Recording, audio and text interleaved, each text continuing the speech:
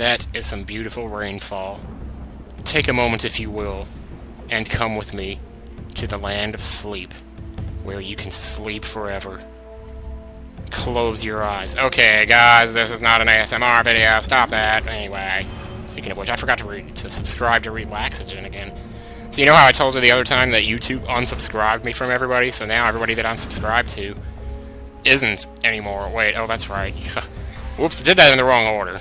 A certain other power-up that I was thinking of that I was trying to charge up.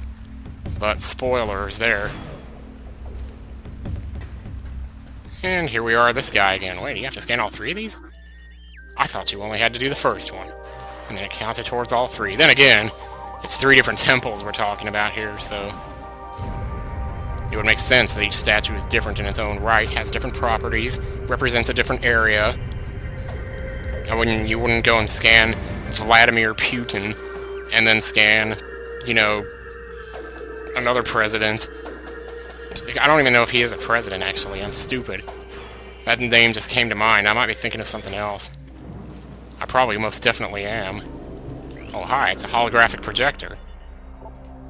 I didn't scan the other thing where, like, the thing that you put your arm in, either, to give the energy back. So, too bad. It's the Green Man. A great warrior comes to the Temple of Torvus. May you succeed where I failed. I am A-Voke, the last sentinel of this temple. I am also the lead singer of Rascal Flatts. Heed my words carefully. Fast cars and freedom. As you can see, this temple has been crippled by the ravages of war. Sad. Yeah, I kind of noticed. Having a hard time getting through that stuff. Will I get a gravity suit? Help me out here? Because that would be kind of nice. If nothing else, I could see better. Yeah, the waters of Dark Aether. You're, you're kidding me, right? You're totally kidding. Ah, now I can scan the green ones, or as the game says, Emerald. Has fancy names for all the colors. Yeah, they seek my light with great zeal, but you forget something. My zeal is greater. I am Zealous Guy, and I used to be Jealous Guy, so it's not that hard for me to turn to Zealous Guy. It only takes one letter. And energy fully replenished, plen, plen, plenished. Alright, where's the dead guy? There he is. So this is the guy we just talked to, or talked to us. In addition to heavy combat damage, subject shows signs of numerous Ing-possession attempts, all failed. Resisting these assaults would require incredible stamina and psychic durability. Yeah, but he's still dead. Hey, we got 50% lore, alright. Dark Aether. In time, we created machines to open rifts to our enemy's world. Volunteer scouts went through the rifts and found a twisted world, harsh and poisonous. A dark aether. They discovered that this world held the missing half of our planet's energy. They also saw the true face of the enemy, a race we came to call Ing, meaning terror. Our scouts could not survive long on the surface of Dark Aether, so venomous was its air. Still, we vowed to return. We prepared for war. Yeah, you prepared. And, uh, but, uh, what can I say but be prepared? Holy shit. What was that? Did you guys hear that? Something outside. It sounded like a gunshot. Or thunder. We never get thunder around here, though.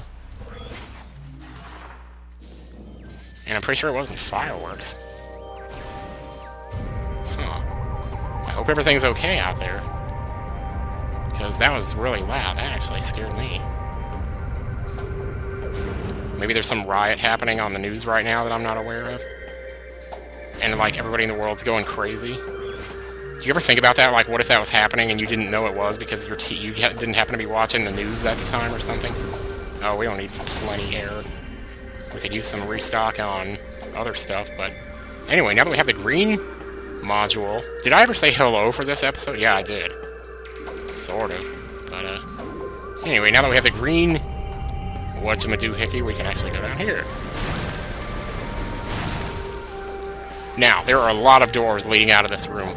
This is the other side of the super missile door that leads to the lower path to the temple from where I just was earlier, where that energy tank was.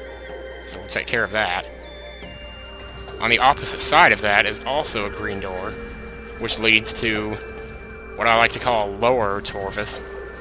But we don't really need to go there yet, so I'm not going to. But I just thought I'd point it out, because it was worth pointing out.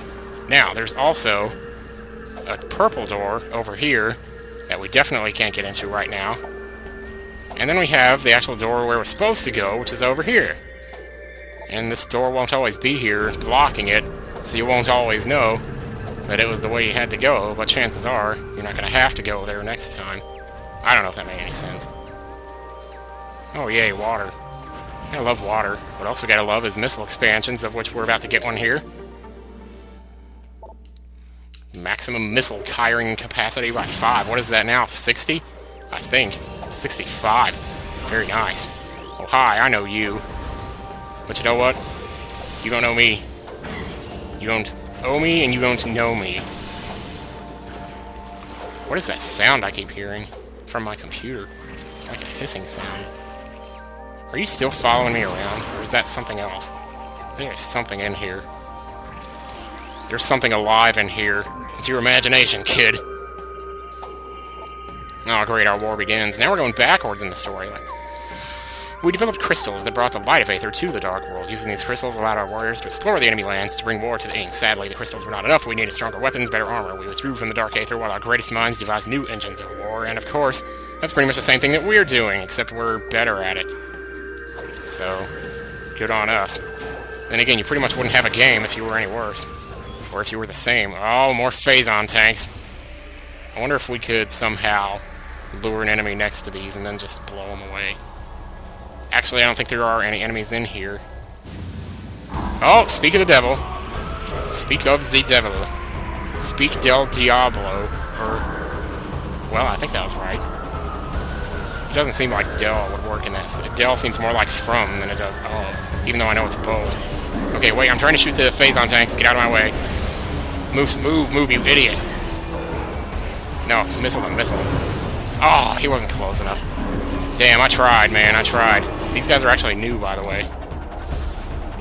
Since I didn't mention it. Pirate Commando, yeah, well, maybe now we can bring out the Dark Beam if we could get off our scan visor here. And... Ah, yeah, you're going nowhere. What, what, that's it? There was two of them. I don't know what happened to the other one. He must have gone off and given up.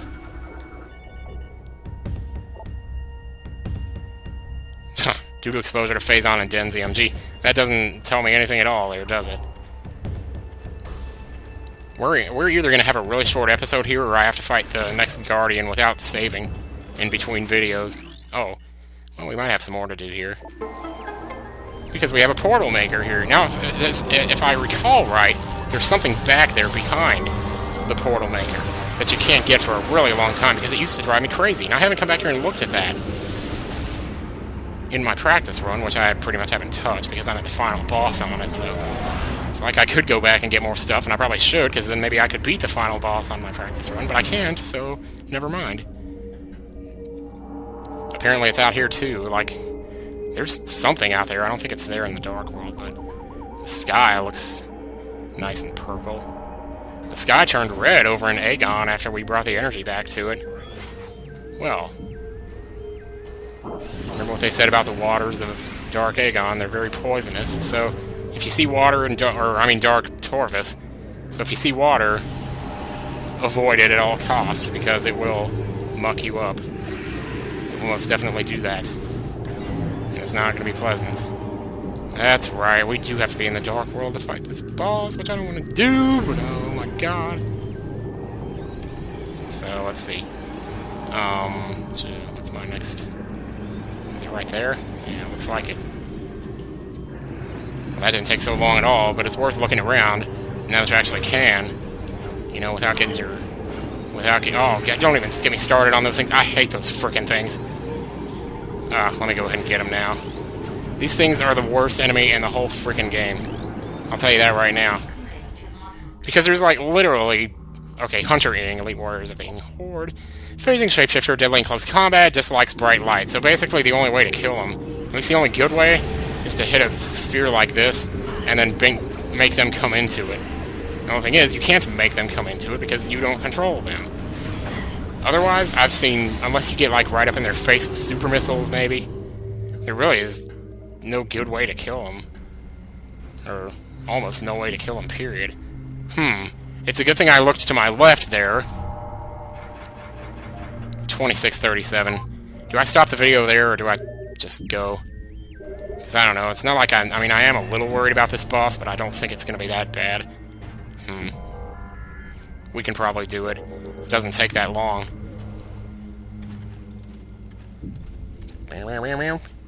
Of course, now that I saved, that pretty much means that I can't, like, start the recording over if I mess it up. Which, why would I want to do that anyway? I don't plan to do anything like that. Hmm. Oh, object in state dimensional flux. We've heard it all before.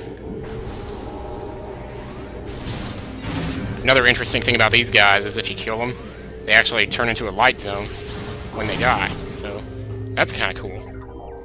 There I go again, switching to the wrong gun. Uh, they don't they don't call this place Dark Aether for nothing, because it's definitely dark.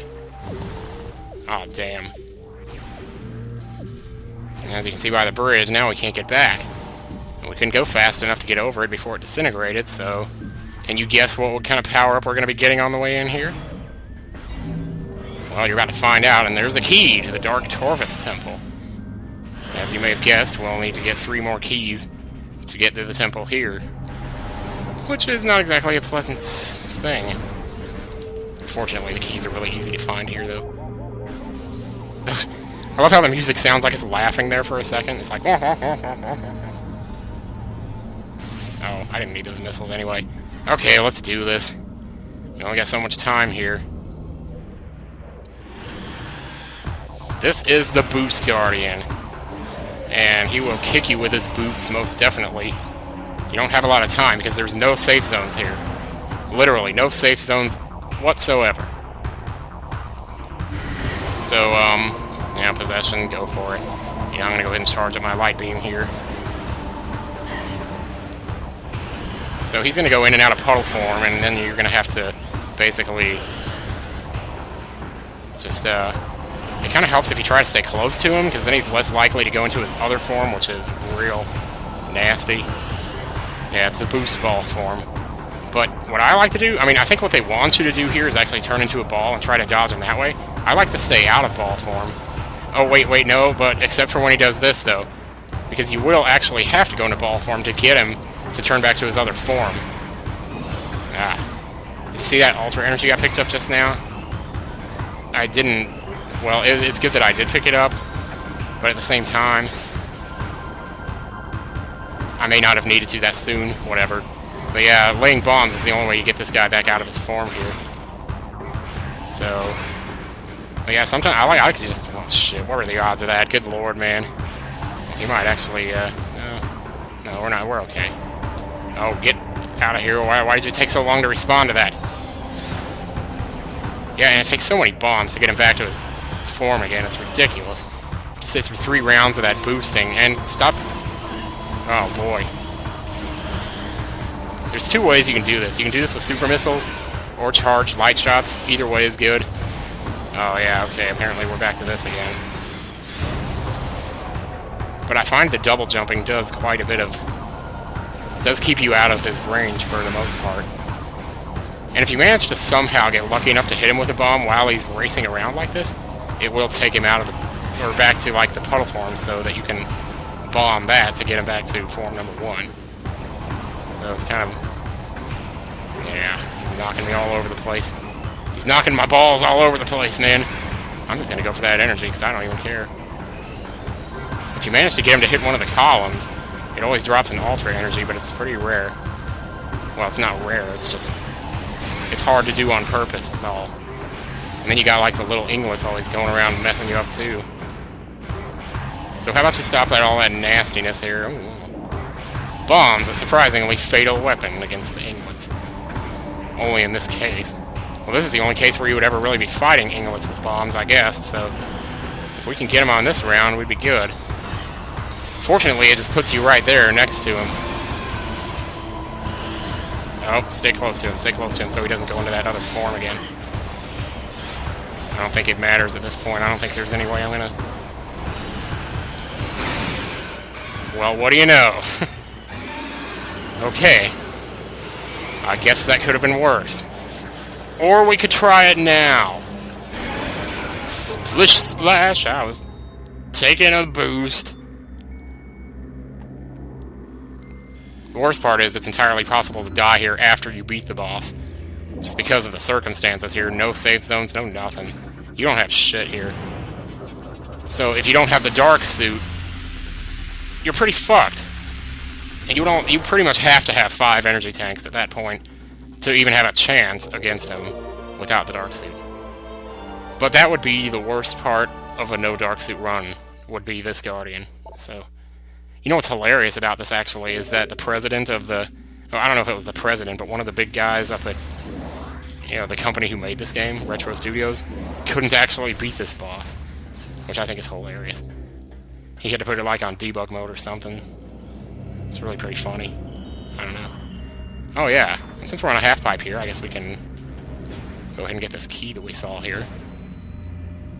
Whoops. Alright, surely you can get that now. There we go. I always found it peculiar that you could pick up stuff as a ball. Because it's like, you have no hands when you're a ball. So how exactly are you picking it up? Is Samus just reaching out from her ball form to...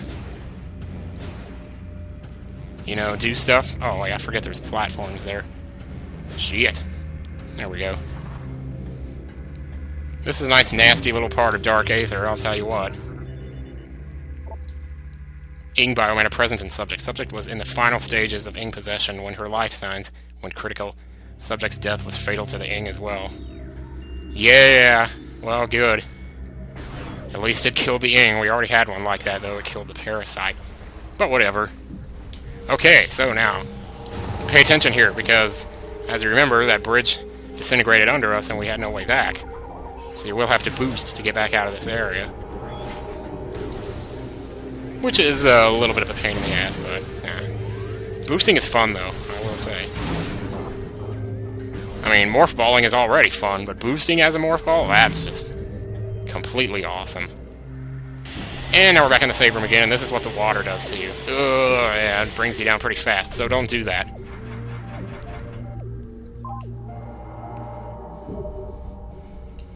Okay, so I guess that's all for this episode. Thanks, guys, for watching, and we'll see you next time on Let's Play Metroid Prime 2 Echoes. Goodbye.